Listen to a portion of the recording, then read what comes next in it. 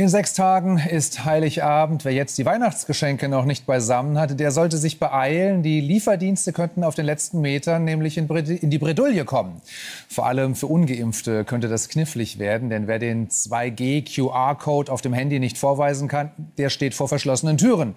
Es sei denn, die Betreffenden leben in Niedersachsen oder planen einen Kurztrip dorthin. Auch der Einzelhandel schöpft jetzt wieder Hoffnung nach dem Urteil des Oberverwaltungsgerichtes Lüneburg.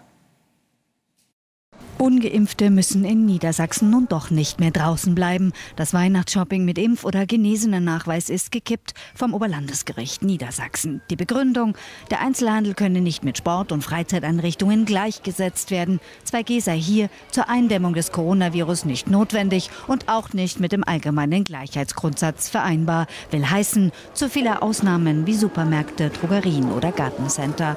In dieser Relation beherrschbares Infektionsgeschehen, geringe Wirkung der Infektionsschutzmaßnahme und erhebliche Grundrechtseingriffe erweise sich die 2G-Regelung im Einzelhandel derzeit als unangemessen. Erste Reaktionen aus der Politik. Ich glaube, dass es im Moment sinnvoll ist, alles auszuschöpfen an jeder Stelle, um zu schauen, dass Omikron in einer Geschwindigkeit, wenn es sich ausbreitet, da ist, die wir beherrschen können. Gerichte haben immer das letzte Wort, ob uns das nun gefällt oder nicht.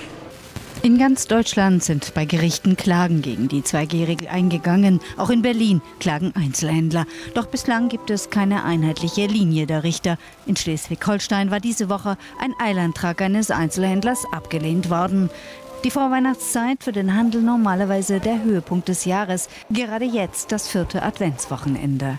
Wir haben momentan wirklich eine dramatische Situation in den Innenstädten, in den Textilgeschäften. Gerade jetzt in der umsatzstärksten Zeit des Jahres brechen die Frequenzen und Umsätze weg. Über 40 Prozent weniger Kunden und Umsatzverluste um die 30 Prozent, teilweise auch darüber.